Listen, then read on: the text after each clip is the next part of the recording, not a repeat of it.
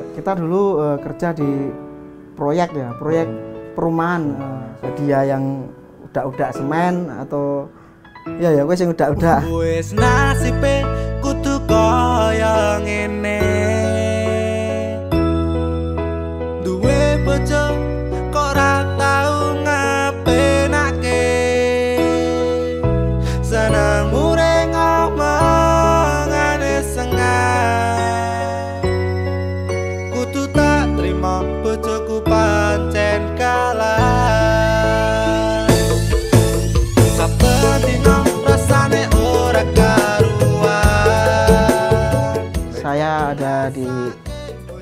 Bagian rap Sandios. saya Ale Wong Tendus. Nanging piye maneh atiku wis kadung tresno.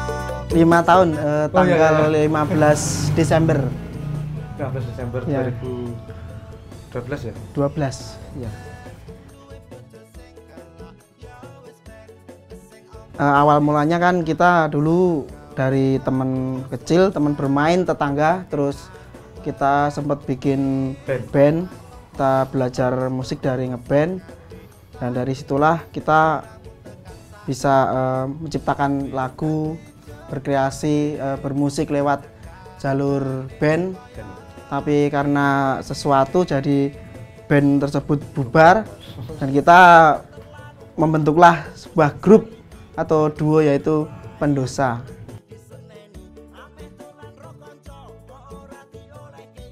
penuh dengan doa dan usaha. Eh, selain itu filosofinya juga pendosa itu kan eh, kita kita ini berawal dari seorang pendosa. Jadi kita pengen ada sebuah kejujuran da- dalam bermusik. Seperti halnya pendosa ini penuh kekurangan tapi kita bermusik dengan jujur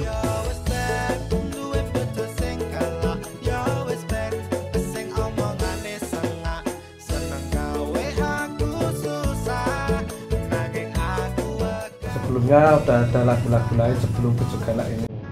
Eh, lagu pertama dari kita itu dulu ya agak rusuh ya. Agak rusuh. Kecil agak ya, ya. agak konotasinya Ya. ada negatif ya itu Kim Chil ya ya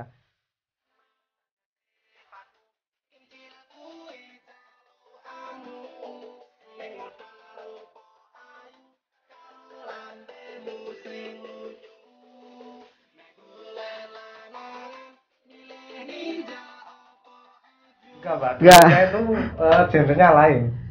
Dia itu band-bandan tuh pop ya. Ya. Pop rock.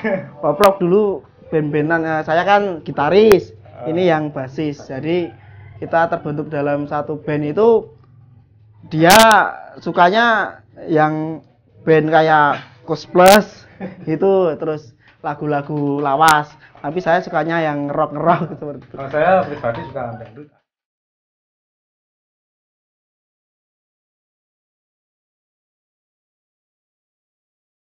Yang membawa ke dangdut sebenarnya dia. Karena dia dulu juga eh, mempengaruhi. Jadi hip hopnya itu awalnya bukan dangdut sih tapi jadi mempengaruhi terus akhirnya kita memutuskan untuk mantep di dangdut.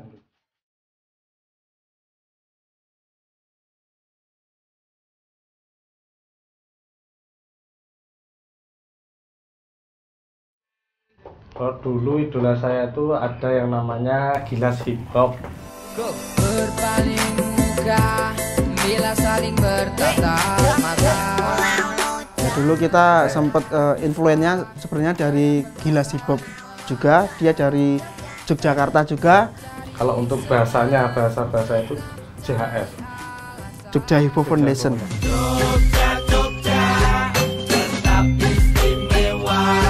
karena mereka juga nguri-uri budaya Jawa, bahasa Jawa. Mereka konsisten di bahasa Jawa ya, bahkan sampai bisa membawa ke go internasional ke Eropa. Kita juga pengen sampai ke Eropa. Amin.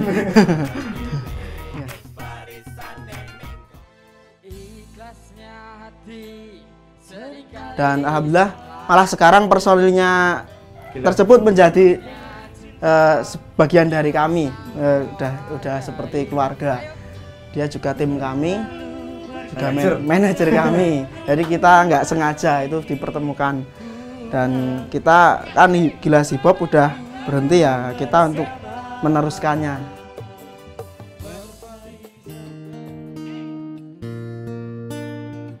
Istilahnya saya ingin eh, menyampaikan apa yang dialami para cowok-cowok kalau eh, pasangannya galak dari kita itu lagu sebenarnya lagu unek-unek tapi kita tetap eh, setia setia setia sama pasangan kita biar eh, seseorang yang mempunyai bojo galak itu nggak terus meninggalkan tapi tetap berusaha untuk setia Gini loh mbak, kalau di daerah sini kan kalau bojo itu kan pacar ya istilahnya pacar itu. Tapi ya Ya, masuk di kalangan sing di bojo-bojo ini.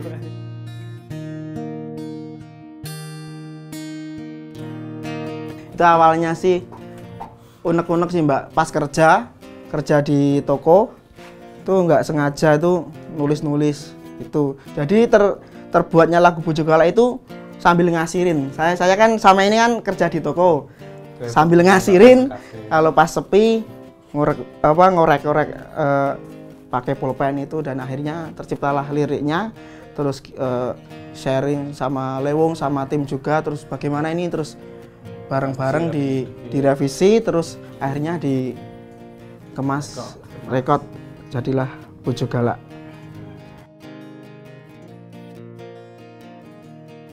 Memang kita eh, konsisten ya mbak, konsisten di Jawa. Karena kita kan ya dari Jawa sendiri. ya kita pengen memperkenalkan bahasa Jawa. Kalau bisa kan eh, bahasa Jawa diterima di masyarakat. Nggak cuma di Jawa sendiri tapi seluruh Nusantara bisa eh, tahu lagu bahasa Jawa dari kami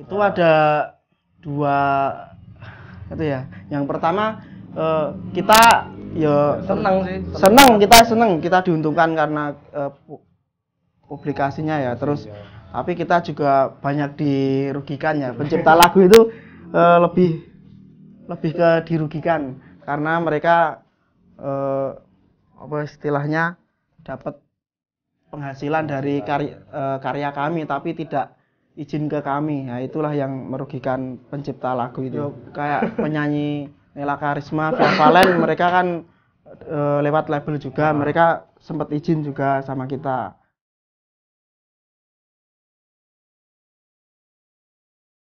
Kalau bikin lagu bareng ya? Bareng, kita. Kita berdua. Kadang dia punya eh, di dulu. di songnya. Ah. terus saya saya nambahin rapnya. Kadang sebaliknya Tapi dia lebih ke dominan ke rap.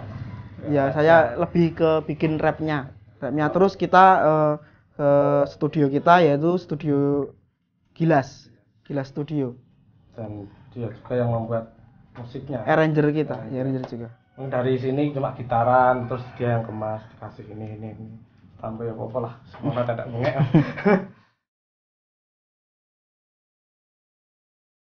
yang berbeda dari pendosa itu pendosa sering eh, take alat-alatnya itu real pakai gitar kadang terus melodi melodinya terus ke- eh, kendangnya itu biasanya real pakai kendang asli.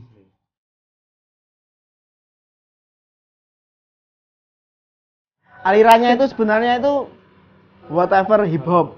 Ah, itu itu kita itu eh, semacam apa ya labil kalau istilah itu semacam labil kadang musik diganti-ganti pakai ini ada yang di hip hop dangdut reggae. Ada yang hip hop dangdut eh, underground. Ada yang apa ya banyak ya keroncong juga ada. Itu sebenarnya campur-campuran juga ada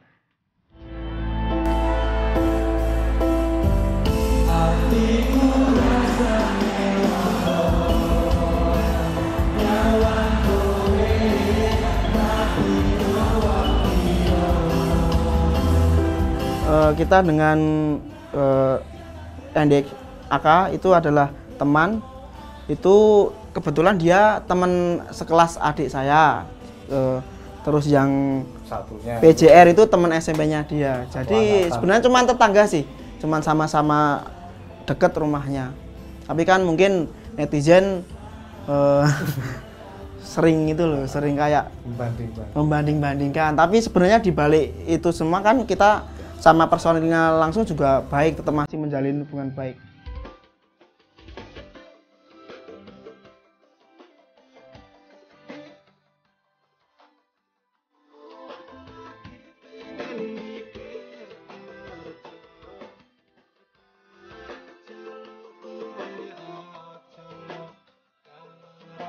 Setelah lulus saya lulus ya lulus. Eh, saya pertama kerja di bangunan pak awal awal dulu saya kerja di bangunan terus dia kan eh, nganggur ya terus tak saya saya melu kerja kuwae nek gelem tapi rontok panas iki ya. Eh, kita dulu eh, kerja di proyek ya proyek Hmm. perumahan eh, sebuah eh, perumahan di Bantul. Di daerah Blok O. Daerah Babarsari di Babarsari juga. Kita eh, dia yang udah-udah semen atau ya ya gue sing udah-udah aku yang Terus, eh, ngangkatin buat tukang. Itu hampir berapa tahun ya kita di proyek itu? Tiga tahun. Tiga tahun lah lama. Pokoknya kerja pertama itu di proyek.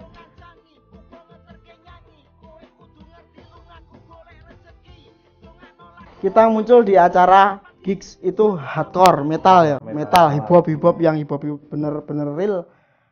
Kita bahkan mereka mereka mau deketin aja nggak sudi ya istilahnya. Mereka tet- tet- kita tetap perform dangdutan juga juga mereka mungkin bat dalam batin mereka apa sih woi? Apa sih? dangdut?" hip hop kok dangdut ya? Kita sangat minder dan itu kita nggak dapat bayaran. Itu banyak banget eh, gigs gig acara yang kita perform itu kita nggak dapat bayaran. Terus dapat bayaran itu pernah dikasih amplop kita di job amplop isinya tiket. Ya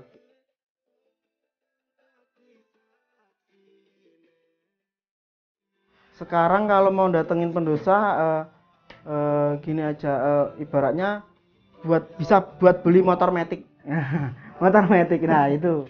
Oke jangan lupa buat pendosa lister eh, untuk subscribe eh, di channel YouTube Lilio Video Indonesia.